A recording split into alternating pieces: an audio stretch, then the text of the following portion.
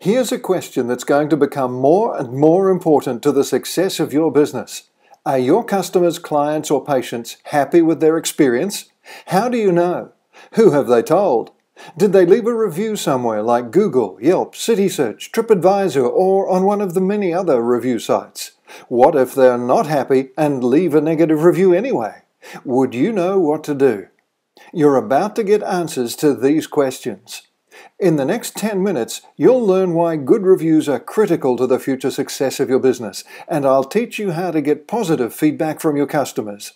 I'll also explain how you can find out if people are talking about you online, and I'll show you how to respond to the reviews you get, good or bad.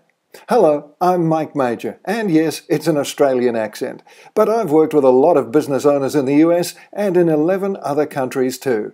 Of course, your business is unique, but the challenges you face are not.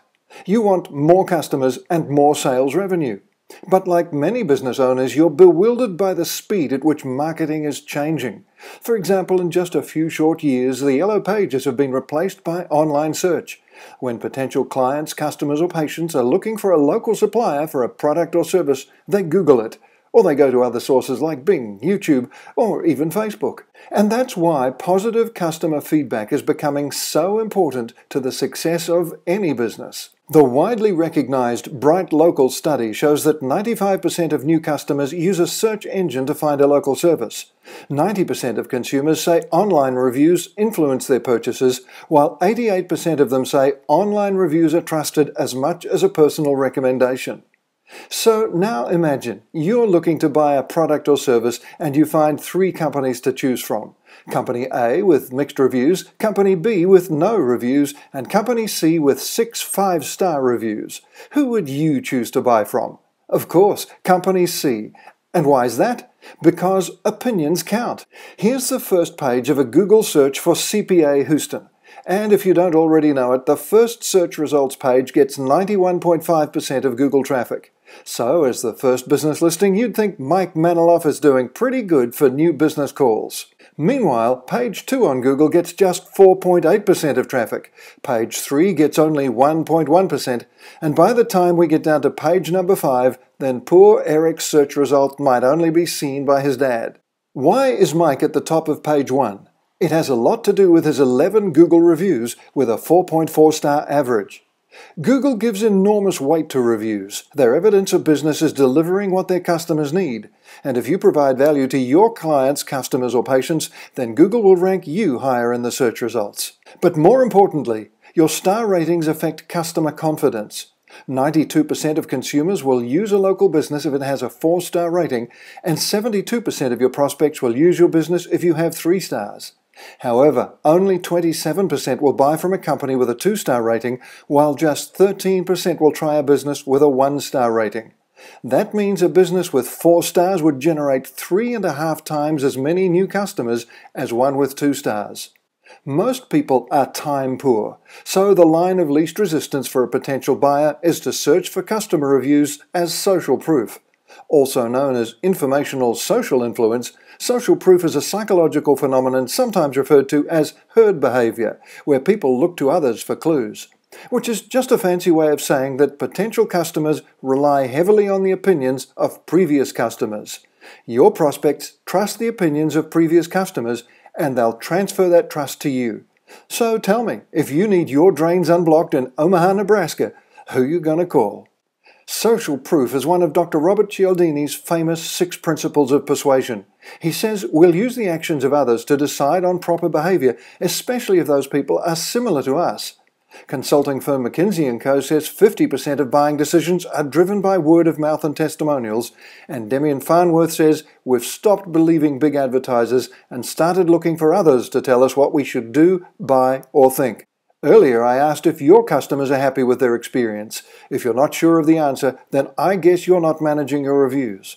Because from what you've already seen so far, you know that potential customers are already searching online for local suppliers of products and services like yours. They're using reviews from previous customers to choose the company they'll trust with their business. And as you can see, The Harvard Business Review believes it's time to make a dramatic shift in your marketing. Here's the true value of customer reviews checking that you did satisfy customer expectations. It's vitally important to any business, not just for the review you'll get, but also to build the trust you need for repeat sales and referrals in the future. So let me give you some tips for getting feedback from your customers. There's a surprisingly easy way to do it. Just ask. The three key issues are who you should ask, when's the best time to ask them, and how to ask them in a way that gets you an honest response. Ask your customers only. Don't be tempted to write reviews yourself or ask employees to do it. That's called review spam, and if it doesn't get your account suspended, it'll almost certainly damage your online reputation. Oh, and it's illegal. It's a form of false advertising, and the FTC will slap fines on companies that pay for fake reviews. You should ask for feedback immediately. The longer you wait, the likelihood of getting a review drops steeply. If you have the customer's email address, send a message with a link to your review site, and in a minute I'll tell you how to get one. So send an email request and then follow up three days later with a reminder email. You can also ask customers to check in while they're in store or while you're at their home. Some businesses offer an iPad with their review form already open, but customers might be uncomfortable doing that in front of you, especially if they're not happy for some reason. Another way is to prompt them with a review card. For example, health professionals, day spas, and other businesses give out cards to their clients with the date of their next visit.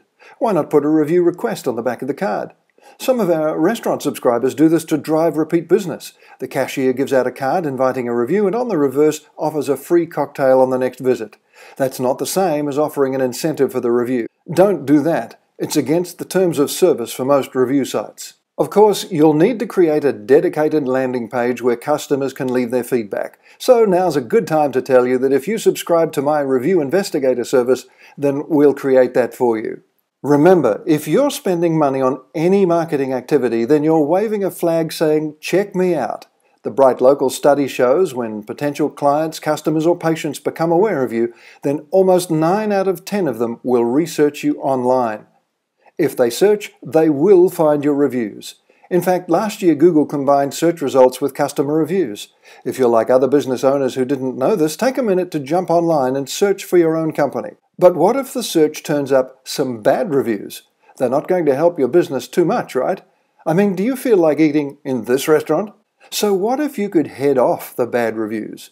Find out what went wrong and do something about it before the review gets online. And what if you could take your good reviews and put them up where Google will find them and reward you with a better search ranking? That's what we do. We put the good reviews online while the bad ones are forwarded to you by email so you can contact the customer and solve the problem. We'll use colors and design cues from your website to create a feedback sequence which starts our filtering process. We give unhappy customers the chance to vent about their experience and we invite suggestions for future improvements. You'll get these details by email so you can firstly satisfy this customer and secondly fix your internal processes so it doesn't happen again. It's good for business too. Remember that a better rating leads to a better search result which in turn delivers more customer leads. And higher review rankings create more customer trust.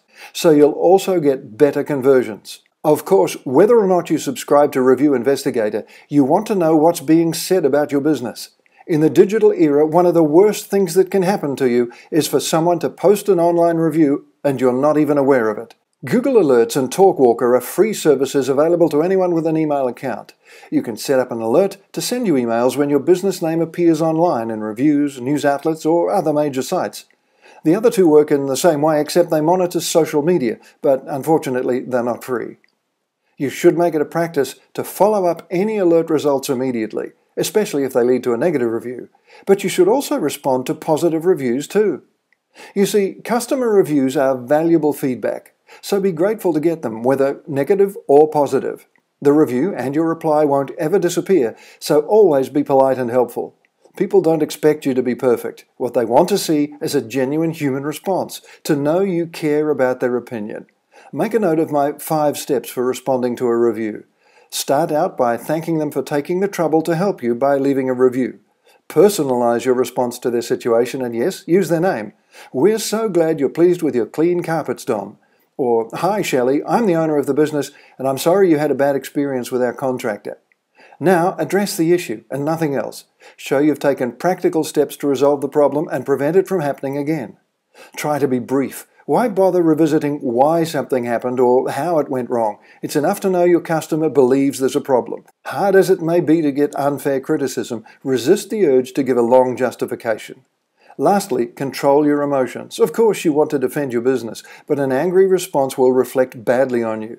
Look, people aren't stupid. They can see when a reviewer is just venting their anger. And if you've given a fair and reasonable answer, they'll discount the negative review. Let's summarize what you've learned today. In this short video training, you've learned that online feedback is valuable social proof and has a huge impact on your business. You've seen how higher star ratings will influence your prospects and discovered that positive reviews act to increase trust, which improves sales conversions. Now you know how to ask for reviews and how to respond to them, whether positive or negative. If you haven't already, you should do a search for your company and see what reviews you have. And then you should set up alerts to make sure you're not blindsided by negative reviews. Imagine the value of a service that would do all this for you. If it could help you to get positive feedback and ratings, if it could head off negative feedback, if it gave you an opportunity to fix any customer problems before reviews are posted online. Review Investigator does all this, of course. It gives you a personalized website where you can send customers to share their feedback. It filters clients according to whether their experience was satisfactory or not. Happy customers are taken straight to the review page on sites which you can select for their importance to your industry. We'll capture contact details for unhappy customers and get details of their experience so you can resolve their issue and prevent it from happening again. Importantly, they're given the opportunity to make suggestions and have input into future solutions. It makes them feel their concerns have been heard. And this feedback is emailed to you so you can take immediate action. Think about this. If you don't take action to proactively manage your online reputation, then someday soon you'll be forced into damage control. After watching this video, you know that your prospects are already looking for reviews online. In fact, only 12% of people don't read online reviews. If you're doing any marketing activity, then you need to consider your reviews and ratings. Why? Because if, no, when you get any negative reviews, your marketing will just be sending prospects to find those reviews. However, if you subscribe to Review Investigator, your personalized feedback site can be active within 48 hours. Simply click the button below, and after the secure checkout, you'll be taken to a form where you can give us the details we need to get started. Let's talk money. Whether it's in traditional media or online, if you're spending 5% of your turnover on marketing, the average for a small business, then as I said before, this could be money spent on driving prospects to find negative reviews. So a subscription to Review Investigator is just a small investment in proactive reputation management, but it's an investment with no risk. If it works to bring new leads and to improve sales conversions, then Review Investigator will pay for itself. And if it doesn't, then get your money back thanks to my 60-day love it or shove it guarantee. Now perhaps you're expecting to pay 150 or 199 or something similar, which would be great value given the huge impact online social proof has for almost any business. But I want to keep Review Investigator as affordable as possible for any business owner in any industry anywhere. At just $79 a month, you'll easily cover the investment with just a few sales. So click the button below to subscribe now.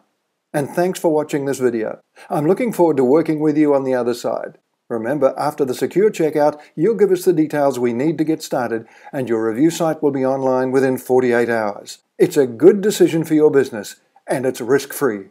Click the subscribe button now.